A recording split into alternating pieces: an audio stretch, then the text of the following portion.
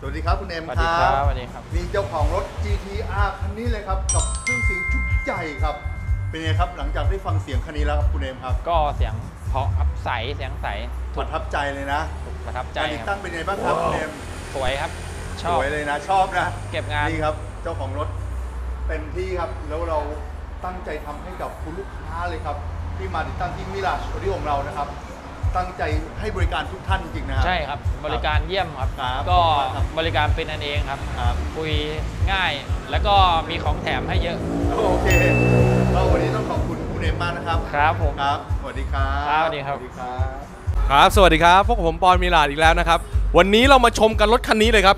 นิสสันสกายไลน์ GTR ครับ กับชุดเครื่องเสียงเต็มระบบครับ ชิ้นแรกครับแอม Mercury ในรุ่น C480 ครับ ว้าว นะครับตัวนี้เนี่ยใช้ขับซับด้วยนะครับ เป็นซับของ Mercury ในรุ่น R10 ครับตอนหน้าครับคันนี้นะครับลำโพงกลางแหลมด้านหน้านะครับ ใส่เป็นรุ่น CE 165ของ Mercury ครับ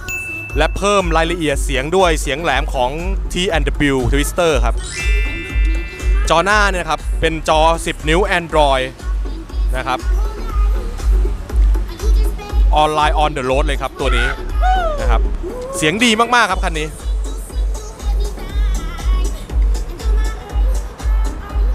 ท่านใดอยากได้เครื่องเสียงคุณภาพแบบนี้นะครับ สามารถติดต่อเข้ามาที่ผมได้ที่เบอร์โทร 086 956 6659 วันนี้ขอบคุณมากนะครับ สวัสดีครับ